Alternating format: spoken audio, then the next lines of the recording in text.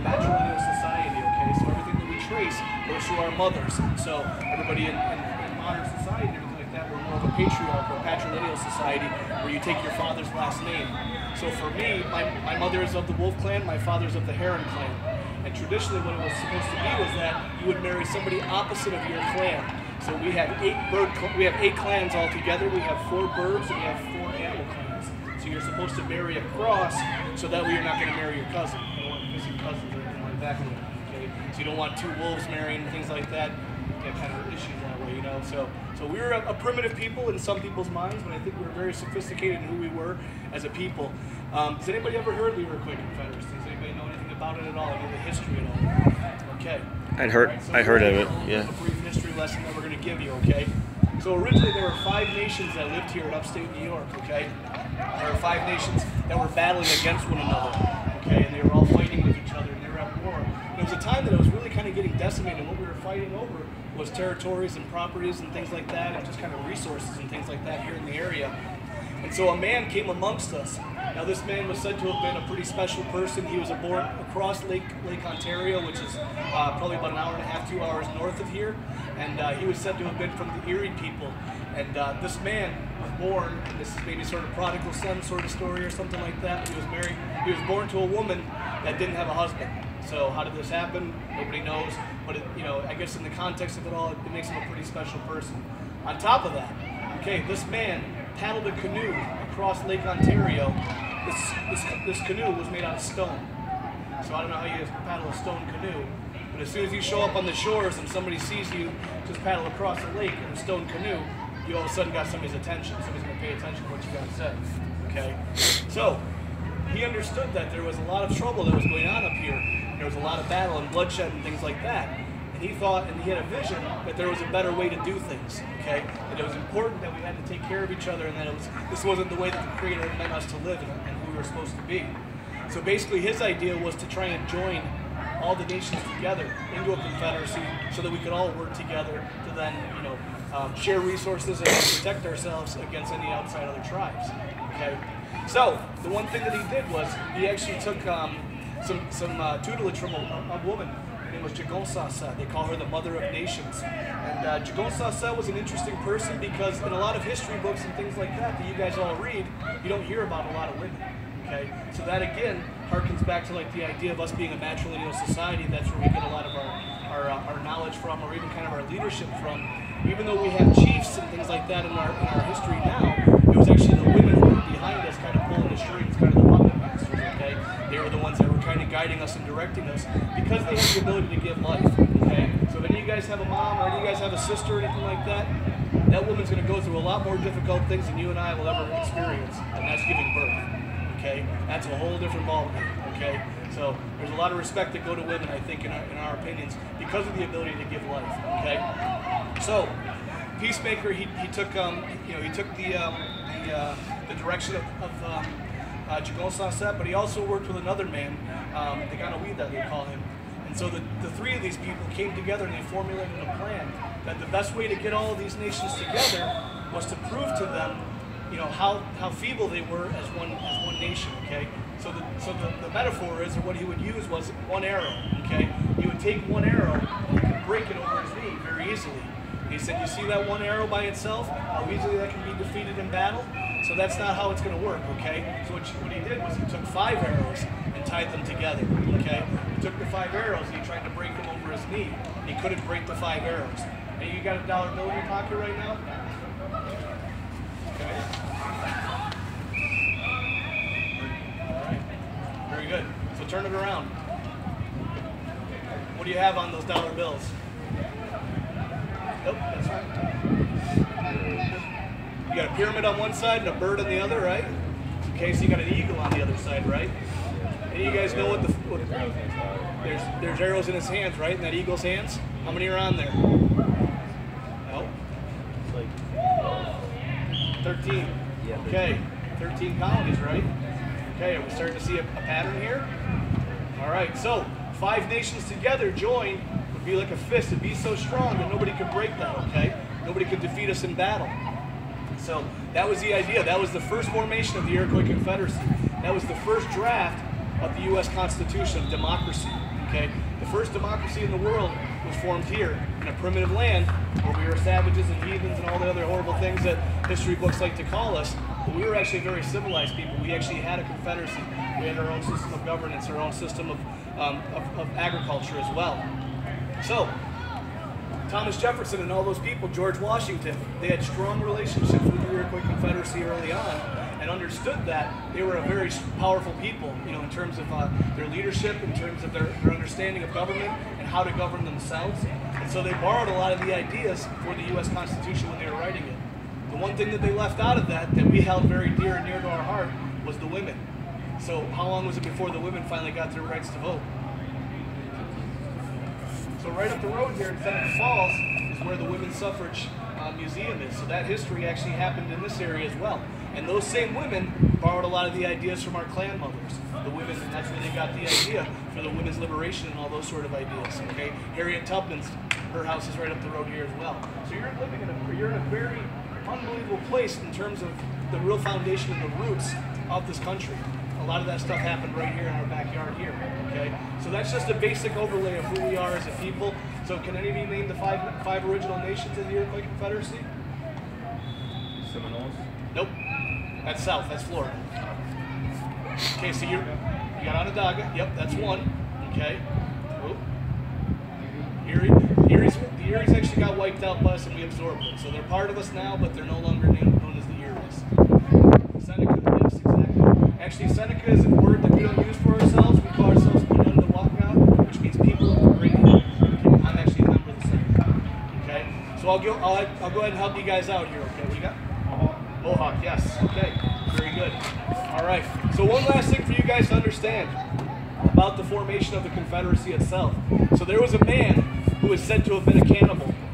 This was a man who was said to be one of the most evil, ruthless people. He was a sorcerer. He was kind of a bad mind-minded person.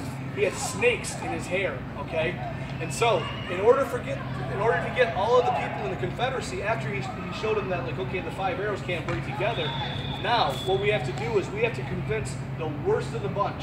We have to go and convince the guy who is the absolute worst to buy into this before all the rest of the Confederacy would buy into him, okay, and buy into this idea. So what they did was they went and talked to this man, Tadodaho. And basically what they talked to him about was that you're going to be the leader of this whole thing, and we're going to convince you that you know you're going to be the guy, and what we're going to do is we're going to put you in charge of this. However, all of our chiefs and all of our people are all equal amongst each other, okay? No one person is better than the other, but we always have the guidance and the direction of the women behind us. And so basically, metaphorically, they combed the, the snakes out of Tadodaho's hair in order to get him to, to sign on and to, to buy into the idea. And once that happened, that's when everybody else came on board and then decided they were going to follow the Confederacy. So, the Keepers of the Central Fire, excuse me, is where Onondaga is now. That's Syracuse, New York, okay? Furthest to the west, the last holdouts of anybody else that wanted to be a part of this was the Seneca Nation. They were a warrior tribe. They're the ones that wiped out the Eries. That's my people. They were said to have gone all the way out to Illinois and those areas and just battled and did all sorts of horrible, heinous things. They finally convinced the Senecas to come on, so they said, okay, well, you're going to have a title. You're going to be the keepers of the western door.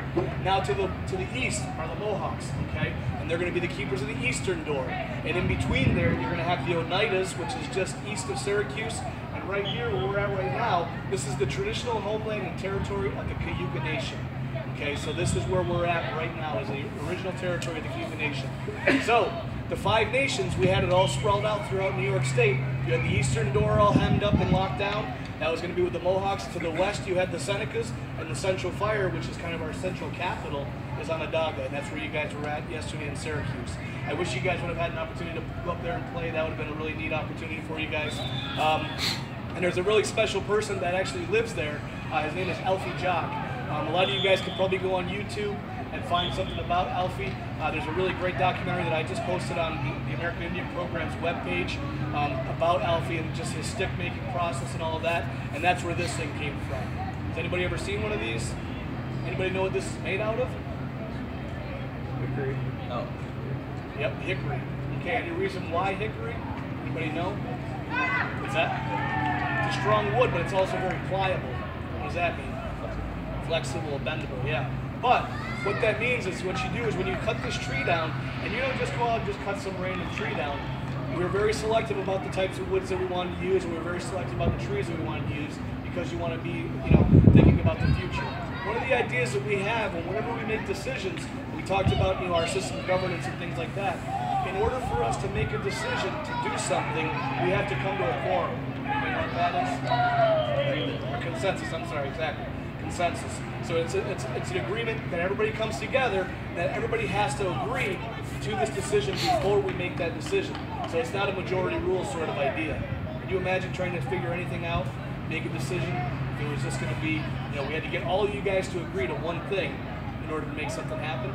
There's a lot of things I could probably convince you of to be able to do that. But if an idea wasn't going to fly the first time around, we'd, we'd table it and then we would come back to that idea. Okay? So that was the process there. So the, one of the ideas that we have as well is thinking about the seventh generation to come. So any decision that we make today is going to affect seven generations down the road.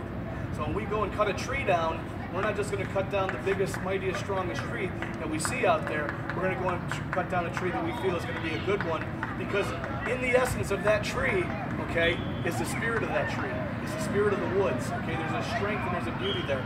People walk past trees and plants all the time and don't really consider the fact that they're actually alive and they're actually a part of, you know, this whole thing, the Tinoet, which we call Mother Earth.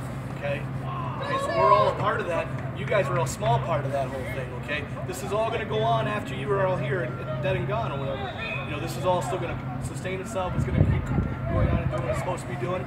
But that's where the strength of this game comes from. So actually, the game itself comes from Mother Earth, okay? Because of those trees that we use. And this is where it came from. And this game was given to us as a gift from the Creator. This is a game that we play for His enjoyment, okay?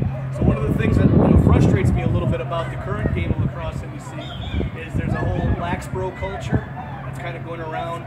It's this kind of edgy, sort of kind of, you know, I'm on the fringe. I'm kind of this, you know, tough guy, bad guy. Look at me, kind of, you know, those sort of guys. I know Coach Coach Johnson doesn't teach those sort of things with guys. You know, I think he's got a better understanding.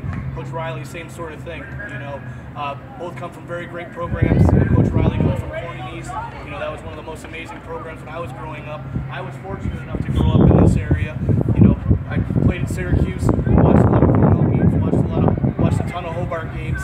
Um, you know, grew up in a hotbed of lacrosse. But really, guys, it's about honoring the game. And for us, you know, playing lacrosse, it's not about winning or losing. It's more about how you played the game. Okay, it's more about you know what effort did you give when you were out there, and how did you compete? Did you play at your highest peak level? And the biggest thing about that, guys, is playing with a good mind. Okay, it's always going on the field, and you're not going on the field. You know, somebody might have slashed you, somebody might have did something to you. You know, give you a butt end or whatever else. You gotta you gotta push that stuff away, guys. Okay, you gotta go out there and play with a good mind. You're not out there to hurt somebody. You know, the ideas and the stories about this being like a little brother of war, okay, that's not really the true essence of the game. It was a part of it, guys, that there was people who have died in battle, who died in, in lacrosse games and things like that, but that was a product of the game of people playing hard, but it wasn't the goal to go out there and kill somebody and club somebody over the head with a stick, okay? It was actually a medicine game. It was something that was used to heal people. Any of the community members or anything like that who needed medicine, who needed the strength, team would come together, the players would come together, and they would play and they would give the medicine, and they would burn tobacco before that, and then they would play the game and try to heal somebody. And the harder you played, the stronger the medicine was. And so that was the idea and the concept of it. And when the French and the Europeans came over, they saw how brutal and rough and tough the game was. They were they were horrified by it at first, but then they were kind of sickly, you know, kind of attracted to it because of like how crazy of a sport it was, you know. And so um, you know, it was one of those things that it was a very special game. So in our language, we actually, in, in Seneca language, we call this Dewatia, okay? Now, everybody calls it the, the Tewaaraton Trophy, okay? You can't imagine how many Mohawk people it drives nuts to hear Quint Kessenich br- brutalizing the language, okay? The actual pronunciation of the Tewaaraton Trophy should be Dewalehadun, okay? Dewalehadun, which means basically the lacrosse stick or the stick game, okay? Now, for the Iroquois Nationals, we have a, we have a, on, on, the back of our shorts and inside of our jerseys, we have another word that says Tehon Chikwa S. And Tehon Chikwa S means they bump hips. And that's another word for the game of lacrosse. Why do you think it's called that? What's that? say? Yep. Yep. Pushing and fighting for ground balls. Okay. So the ball's on the ground a lot because people can't pass and catch it. But you know, the ball's always on the ground. So a lot of the, a lot of the game is played on the ground. So you're bumping hips, trying to jockey and push and whatever else, fighting for the ground balls. But that's what that's all about.